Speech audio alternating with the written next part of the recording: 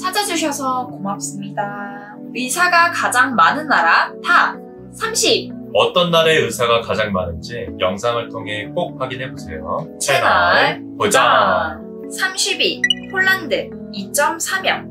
29위 멕시코 2.4명 28위 한국 2.5명. 27위 일본 2.5명 26위 미국 2.6명. 25위 캐나다 2.7명 24위 영국 3.0명.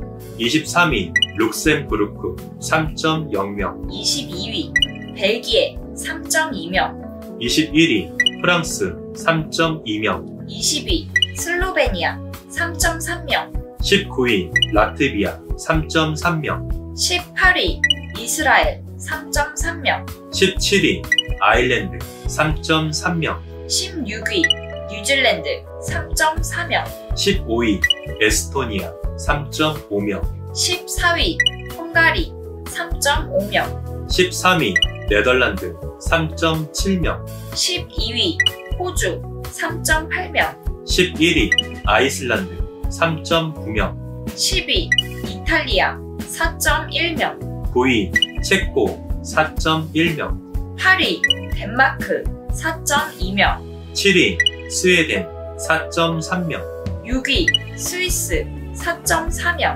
5위 독일 4.4명 4위 스페인 4.4명.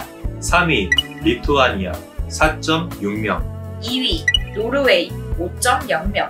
1위 오스트리아 5.3명 OECD의 최근 발표 자료에 따르면 2019년 기준 인구 1000명당 임상의사가 가장 많은 국가는 오스트리아로 나타났습니다.